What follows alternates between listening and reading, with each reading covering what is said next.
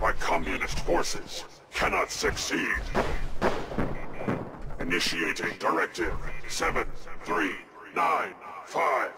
Destroy all communists.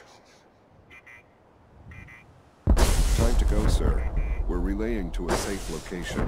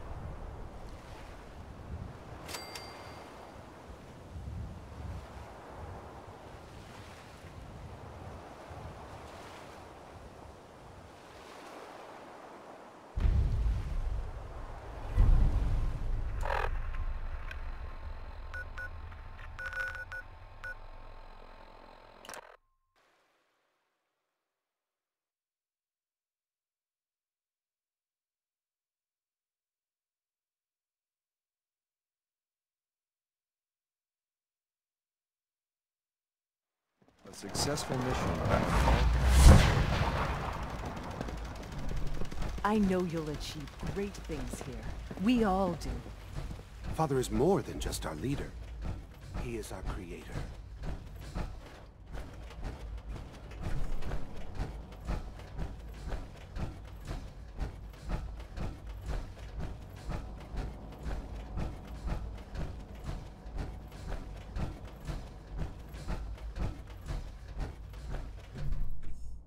Hello, Shaun. Ah.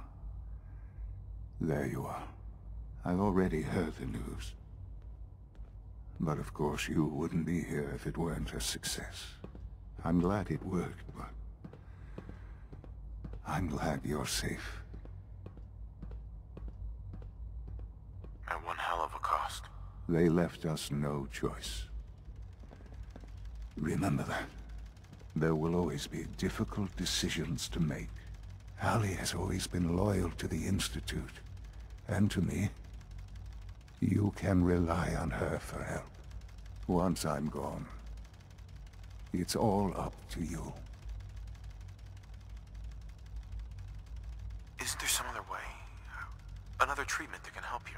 Nothing permanent, no. The inevitable could be delayed, but... At increasingly terrible cost, I simply decided...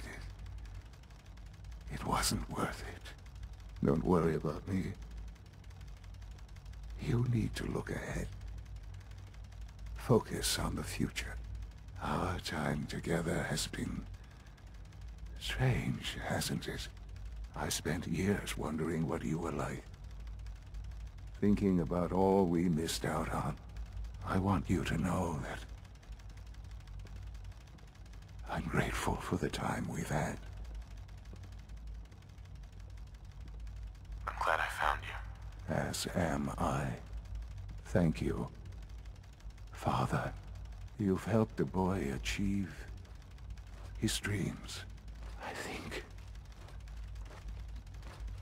I think I'd like to sleep now. It was an... I've lost Shaun. All over again. I close my eyes. I see my life before all of this. Before the bombs. Everything can change in an instant. And the future you plan for yourself shifts, whether or not you're ready. At some point, it happens to all of us. This wasn't the world I wanted, but it was the one I found myself in. the Commonwealth. My home. Ripped apart and put back together. I thought, I hoped, I could find my family, cheat time, make us whole again. The way we were. But now I know. I know I can't go back. I know the world has changed. That the road ahead will be hard. This time, I'm ready. Because I know war. War never changes.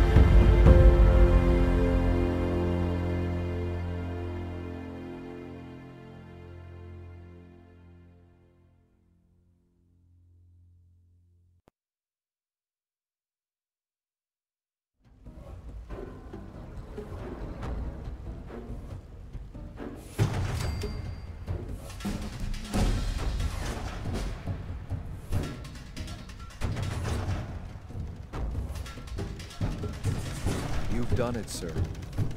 You've crippled our enemies and secured a better future for mankind. I don't care. I just want my son back. I understand that. But the Institute needs a strong leader to take your son's place. This isn't the end of your work.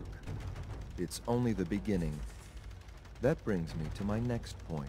The Railroad and the Brotherhood have been beaten, but not eradicated.